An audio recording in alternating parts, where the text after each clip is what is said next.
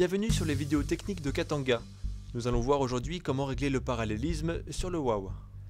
Généralement, les professionnels utilisent un outil spécifique qui permet de contrôler le bon parallélisme des roues avant. Si vous n'avez pas cet outil, vous pouvez aussi simplement utiliser deux barres bien droites en aluminium ou en bois. Placez-les contre chaque roue et serrez-les fermement jusqu'au contact avec la jante.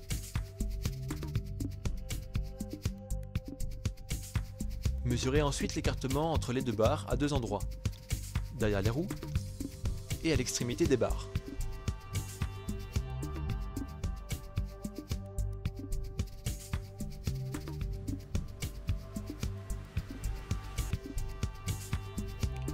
L'objectif est d'obtenir un écartement identique pour chacune des deux mesures.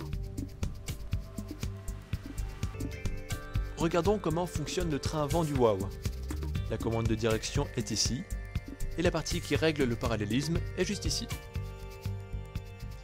En faisant simplement tourner ce tube, nous pouvons ajuster le réglage du parallélisme. Côté gauche, il y a un pas standard, et côté droit, il y a un pas inversé.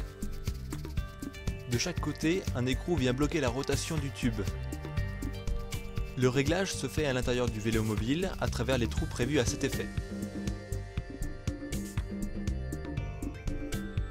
Utilisez deux clés de 10 et débloquez les écrous proches des rotules noires. Lorsque le tube est libre, faites-le tourner vers l'avant si vous souhaitez fermer davantage le train avant, ou faites-le tourner vers l'arrière si vous souhaitez ouvrir davantage le train avant. Lorsque la bonne position est obtenue, bloquez les écrous contre les rotules noires.